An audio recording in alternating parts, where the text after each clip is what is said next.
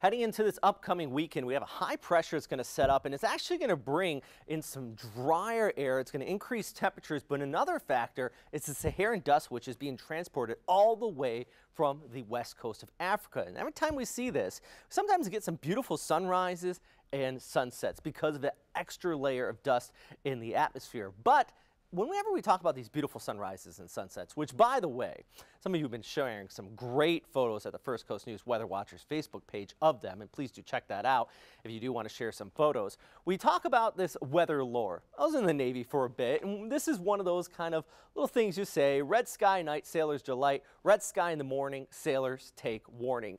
Is there any truth to this? In reality is, there is some science to back it up if you do have that red sky in the morning, sailors take warning, right? Sometimes this means that you have, you know, a storm approaching from the west. You get that reflection off of the clouds uh, with the sunrise off towards the east, some of that scattering. It does bring a beautiful sunrise. Not to mention it does help to lift up some of the aerosols in the atmosphere during your morning hours. Now, if you do have that beautiful sunrise at night, sailor's delight, right?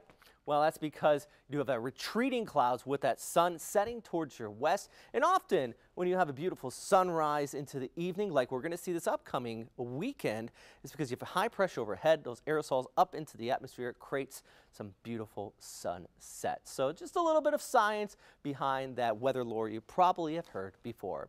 I'm First Coast News meteorologist Robert Speta on your side.